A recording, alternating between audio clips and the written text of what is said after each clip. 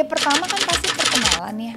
Dari perkenalan itu akan ada tanda-tanda bahwa kita kalau ada proses pengenalan pasti ada proses namanya kecocokan.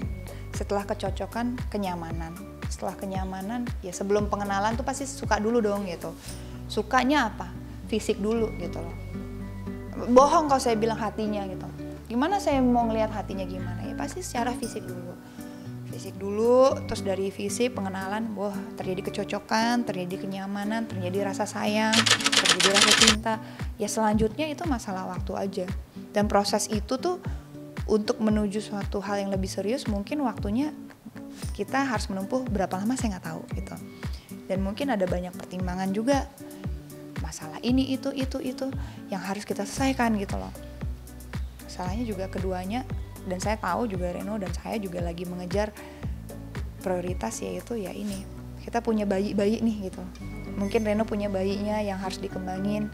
Saya juga punya bayinya gitu. Supaya nanti kalau membina rumah tangga tuh insya Allah nggak kesulitan nggak kesusahan dan punya keluarga yang berkecukupan.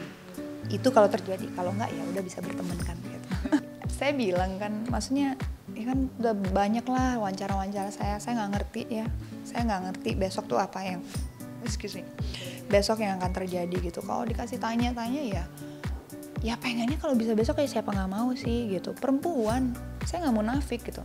Cuma memang ini masalah kesempatannya belum belum belum deket sama saya. Terus Kedua juga saya mungkin adalah perempuan modern dan masa kini yang mungkin saya pikir kalau belum terjadi dan belum ada signal ya udah saya bekerja aja. Toh saya tidak akan kekurangan sedikit pun tanpa itu. Saya masih bisa bahagia. Mungkin itu yang menjadi pelengkap kebahagiaan bisa jadi. Tapi saat ini saya cukup bahagia dengan apa saya punya sih. Jadi tidak menjadi penghalang saya untuk tersiksa dan saya dibully, oh kapan nikah itu dan itu tidak pernah saya dengerin.